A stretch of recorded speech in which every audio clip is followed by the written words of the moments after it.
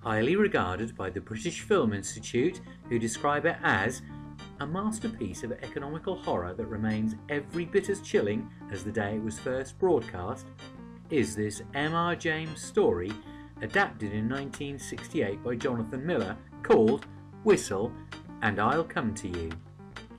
An unusual part of the BBC's Omnibus series because it was really about art documentaries, whereas this adaptation was more or less the forebear of the channel's A Ghost Story for Christmas series, which I've mentioned in another YouTube video.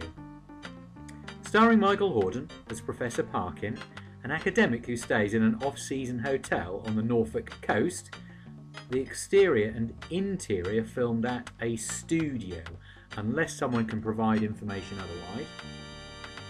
While visiting a local graveyard, as one does on particularly spooky holidays, he comes upon a whistle made of bone which, through the course of the story, haunts Professor Parkin's mind.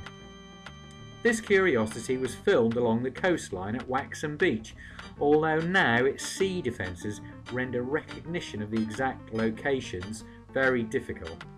But it's nice to think this remote area, beautiful and historic, was captured on film.